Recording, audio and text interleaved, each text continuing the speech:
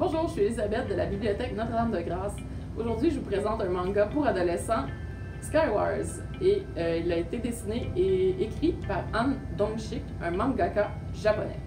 C'est une série d'aventures de merveilleux fantastiques euh, en huit tomes, et nous suivons Nit et son dragon dinosaure rose, euh, Plamo, dans toutes leurs aventures.